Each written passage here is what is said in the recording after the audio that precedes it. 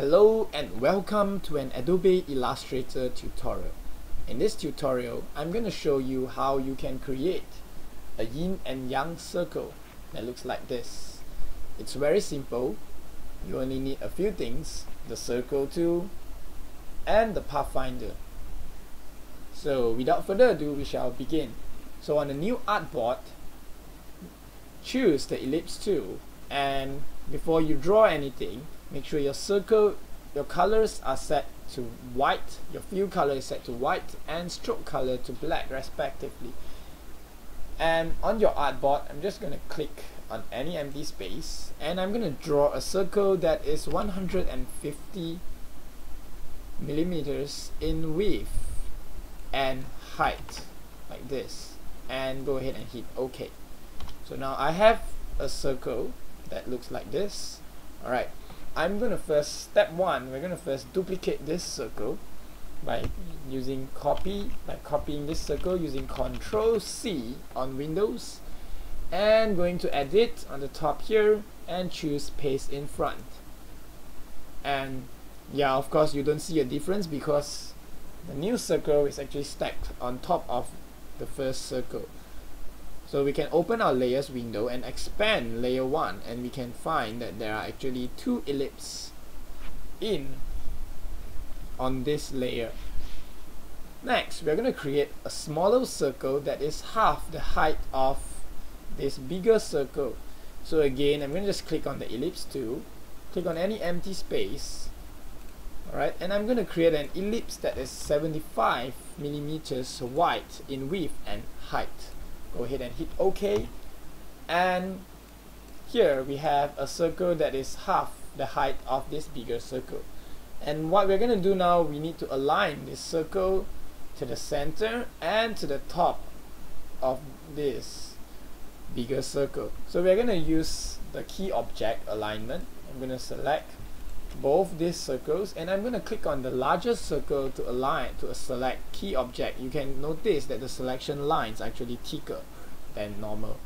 So with this as the key object with the bigger circle as the key object I'm going to align horizontal center and vertical align top like this alright? And again I'm going to select my ellipse too and I'm going to have to draw the smaller circle that is inside here so I'm going to just click on the empty space and I'm going to set this to 20 millimeters in width and height.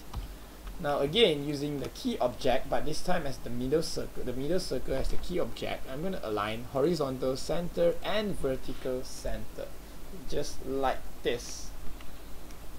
And now I'm going to select these two circles. I'm going to hold down the Alt key and drag to duplicate a new a copy of both these two circles. Alright. I just dragged them and I held down my shift key to, to make sure that the drag is aligned. But of course if you are afraid that your alignment might be out go ahead and just group these two circles group these two circles and again make the largest circle as the key object. Align horizontal center and vertical bottom and don't forget to ungroup these two circles once you once you have done once you are done like this.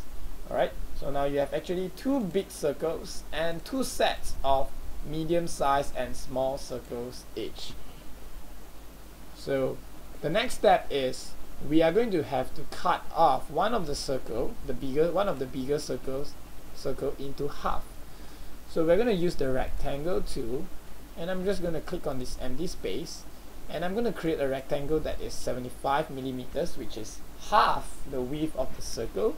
And the height don't matter actually but you can just type in a value that is larger than the circle. So here I'm going to put 20 200 millimeters and I'm going to hit OK. So this rectangle over here and I'm going to again use the keys key object alignment. And this time I'm going to make the largest circle the key object I'm going to align horizontal right and vertical center like this. Alright now now we're gonna now I'm gonna use the pathfinder go to the pathfinder and I'm gonna hit on minus front. So when you use minus front anything that is in front of the shape below will be removed. So you when you when using Pathfinder you must always remember to have two shapes that are selected. Okay you must have two shapes. If not it will not work. So here I'm going to hit on minus front. I'm to choose minus front and here I have the half circle. Alright? Now if you look at the original picture you can see that this part is actually connected and this part is not connected. This is a hollow over here. So we're going to create these two things. First we're going to join the top circle this top circle to this semicircle so I'm going to just shift select and select these two things together and in my pathfinder I'm going to choose unite. Alright unite. Okay make sure you don't select the small circle over there just now okay? Because you don't want to merge it into a single shape. So right now you don't see the small circle because it's actually hidden behind this shape over here. Right and the next thing we're going to create this hollow over here so but first we're going to have to select this medium circle. We're going to right click go to arrange and we're going to choose bring to front so that it, it stays on top of all the shapes.